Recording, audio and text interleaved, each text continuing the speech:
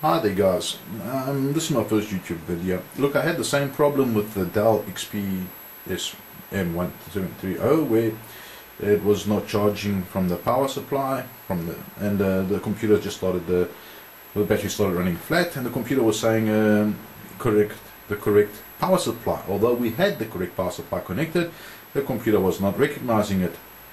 Anyways Good news is that um, on this one over here we got it running back to normal and uh, after looking on YouTube for so long to find a way to fix it and I saw a lot of people were replacing motherboards and replacing their um, power supplies um, unfortunately my warranty is up which I was not going to be able to replace anything right now. Um, anyway to show you guys what I'm talking about right we can see down here I'm not too sure if you guys can see it and the power supply is back up and running and the computer is charged and if you zoom in there somehow. You would see that the battery is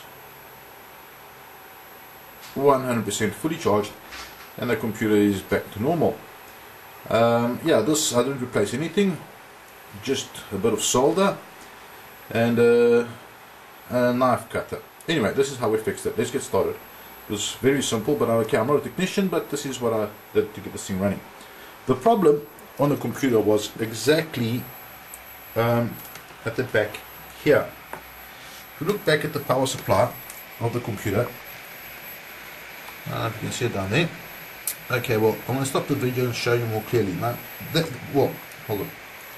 Alright, now I've taken out the back plug from the computer. This is the plug that uh, connects to the power supply. And after reading on the internet what you guys, and uh, anyway, the problem definitely is the red little cable in the center which transmits the data between the computer and the power supply. Anyway, now I took it apart. The way I did that was I used a knife cutter. I sliced this little jack open over here with the knife cutter. Once I sliced it open, um, then I had to pry out the silicon. Well now here is the biggest problem and I think this is why it's actually happening. The silicon which is over here these are the silicon pieces that we cut out of it. Now what happens is they are very hard and somehow they have actually bonded together but mine had actually cracked thanks to the fact that it's this little part here bends. That crack in the center pulls and eventually disconnects that little red cable. It actually breaks that little red cable inside there. And that's it guys, if you can get the little red cable inside there reconnected, I mean I didn't use a wire, I just put a solder to it and uh, took that out, I've, I've, put it back together with a cable tie for now, just to make sure it's running fine. And uh, yeah, the the problem's solved and the uh, Dell's back to normal, 100% again. And uh, didn't have to replace much. Actually, I didn't use any parts, just a drop of solder. And uh, that's it. Um, I'll show you the inside now as well. Anyways, now that's the, how the plug looks. If you notice that little red cable in the center, that's where the problem was. Although you had to remove that white silicon around there, otherwise it looked fine. Once I removed the white silicon, then yeah, it was quite obvious that the wire was broken.